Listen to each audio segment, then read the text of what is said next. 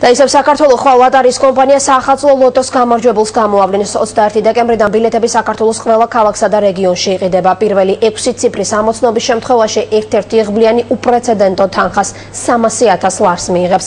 ლატარის კომპანიის თანამშრომლები დღეს გორში ჩავიდნენ და ბილეთების გაყიდვის პროცესს დაესწრნენ.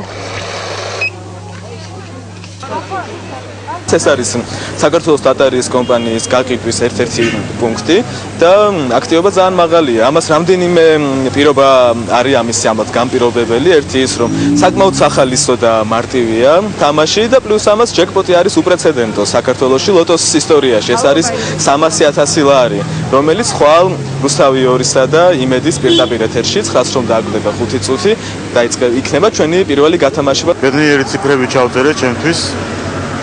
ჩემი გოგონასთვის და ეს მოგება მინდა ჩემ გოგონას სახელზე შევასრულოთ. ორი ბილეთის ყიდვას ვაპირებ, მჯერავს რომ რაღაცა შეიცვლება, იმედით ცოცხლობ და უბრალოდ რა ვიცი, რაღაცასთან მინდა მართლა დავაკავშირო, მინდა ჩემ დაბადების დღესთან, წელთან და იქიდან გაღებული იმედიანად ვხვდები ახალ წელს, იმიტომ რომ გამომდინარე იქიდან რომ დევნილი ვარ, მარტო იმედით ვდგევარ და ვყიდრო.